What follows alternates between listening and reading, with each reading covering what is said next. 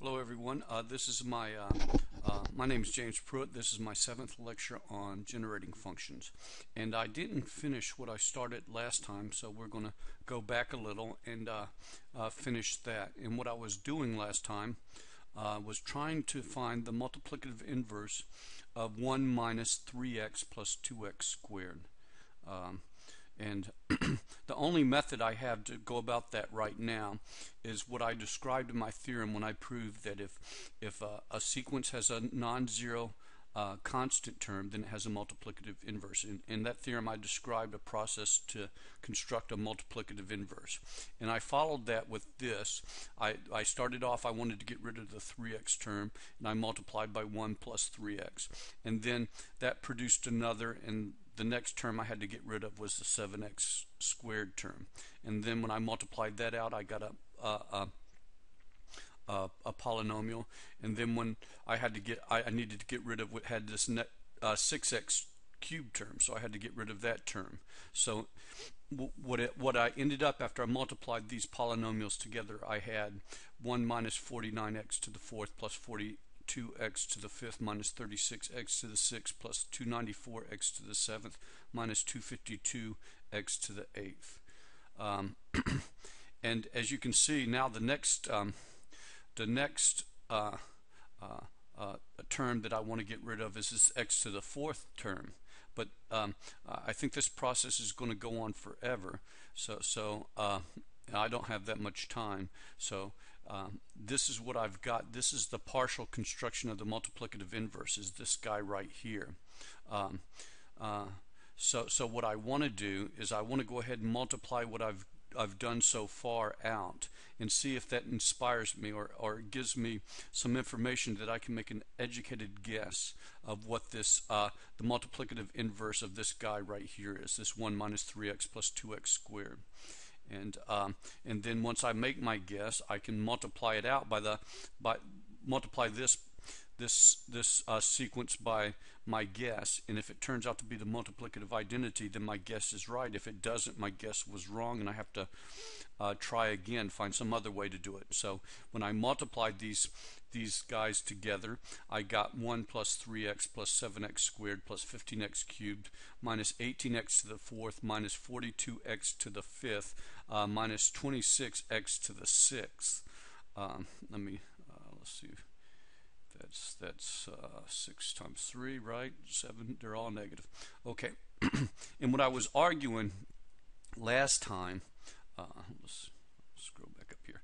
I want to get rid of this negative 49. So if I'm going to uh, multiply something else here, it's going to be 1 plus 49x to the fourth. So if I was to multiply this guy right here by 1 plus x uh, 49x to the fourth, um, that's not going to uh, affect this, this, this, or this.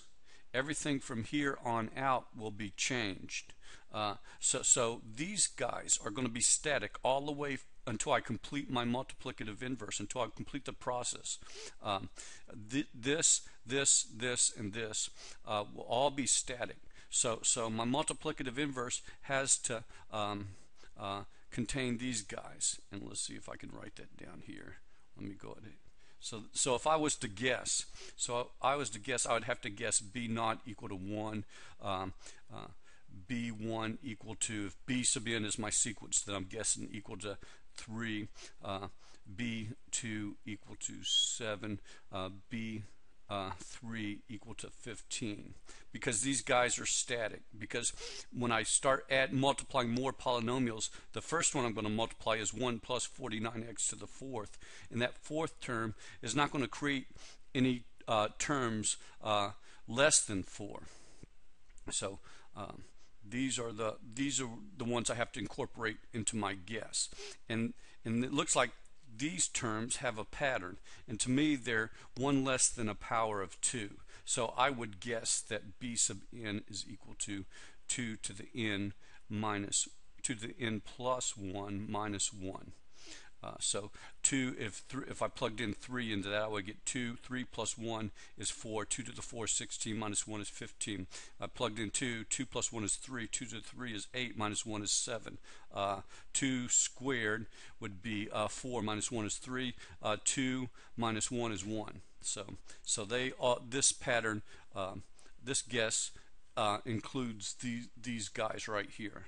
So going going down, I wrote this out earlier. Um, let Bn be my guess, which I, have done up here, for the multiplicative inverse of An, where An is defined as A naught equal to 1, A1 equal to negative 3, A2 equal to 2, An equal to 0 for n greater than 2. the generating function of this sequence An is just 1 minus 3x plus 2x squared. So now we're going to go and multiply these out.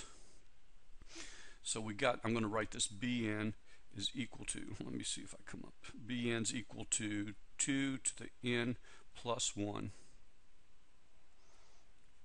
minus 1 and a naught's equal to 1 a1's equal to negative 3 a2's equal to 2 a n is equal to 0 n greater than 2 okay so we're going to go ahead and uh, let cn equal to an times bn. And I want to keep that down to a certain, to right about there. So we got z0, uh, c0 is equal to a0 times b0, and um, a0 is 1 times b0 is is uh, b0 is equal to 2 to the 0 plus 1 minus 1, which is equal to 1. So that's 1. That's equal to 1. So, so far, so good. C1 is equal to A0 B1 plus A1 uh, B0. And that's equal to A0 is 1, B1. B1 is equal to 2 uh, to the 1 plus 1 minus 1, which is equal to 2 squared 4 minus 1 is 3. So that's going to be 3 uh, plus uh, A1 is negative 3 and B0 we've already calculated is 1. So that's going to be equal to 3 minus 3 is equal to 0. Now I'm going to just jump right ahead and do Cn. Cn is equal to, uh, we've only have three non-zero A terms. So those are the only three terms we have to worry about. So so the rest the rest of these ANs are going to be zero. So they they're going to negate any contribution anything else will will have. So CN is equal to A0 uh, BN plus A1 BN minus 1 plus A2 BN minus 2. So so so we got um, I'm going to bring it. We we we, we know what all those are, so I'm going to bring it up here. So so we're going to fill that in. Cn is equal to a naught is one times uh, bn is two to the n plus one minus one plus a1 is negative three times b um, times two to the n minus one plus one uh, minus one plus uh, a2 is 2, 2 times 2 to the n minus 2 plus 1 minus 1. So we're going to do some stuff in our head. So I'm just going to bring that out. We got a 2 to the n plus 1 minus 1. Uh, we got a um, negative 3 minus 3 times 2 to the n minus 1 plus 1 is 2 to the n.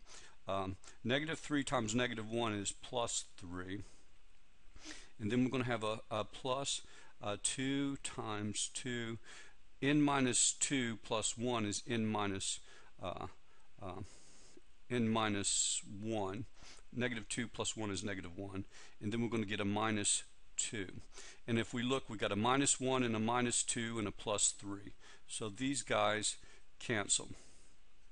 And what we're left with is c n is equal to 2 to the n plus 1 um, uh, minus 3 times times 2 to the n uh, plus this 2 times 2 is going to going to come in here. I'm going to bring that in there. And such 2 to the 1 uh, times 2 to the n minus 1 is 2 to the n minus 1 plus 1 which is 2 to the n. And then I'm going to filter out this 2 I got this 2 in each term. So I'm going to distribute out this 2. So Cn is equal to is equal to um, uh, 2 to the n so I'm going to get a 2 here, and when the 2 comes out, it's going to be left with a 3 here, and then I'm going to get a 1 here. So 2 minus 3 is negative 1 plus 1, so that's equal to 2 to the n uh, times 0, and that's equal to 0. So that's what we wanted to prove. So so we have uh, our, our product has a non-zero constant term equal to 1, and everything else equal to 0. So Cn is the multiplicative identity.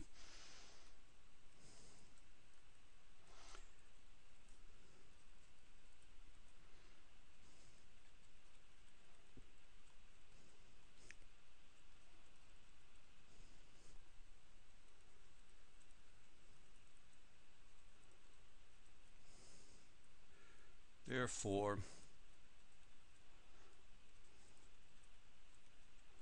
um, Bn defined by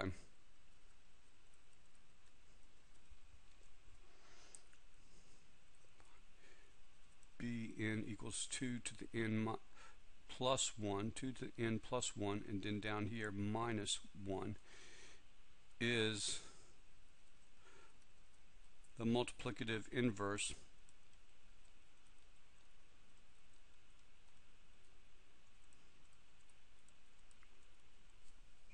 Of this a n whose generating function is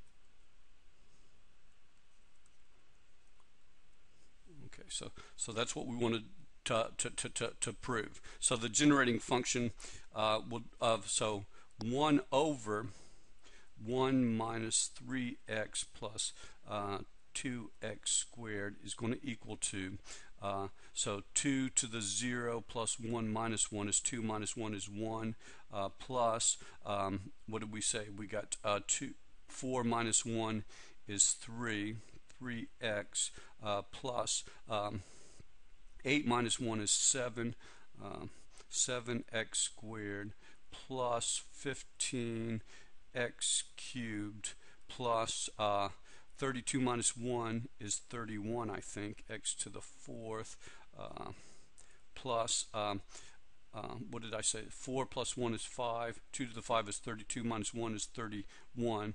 Um, then we plug in 5 plus 1 is 6, which is 264 minus 1 is 63. x to the fifth plus dot dot dot. Okay, that's what we wanted to uh, prove. So we're going to go on to another, uh, I'll look at this another way. Um, let's see what we're sitting on time and we're running out of time. So I'm just going to call it quits here, and then we'll jump right back in and uh, uh, uh, finish up what I'm trying to do here. Okay, talk to you on the next lecture.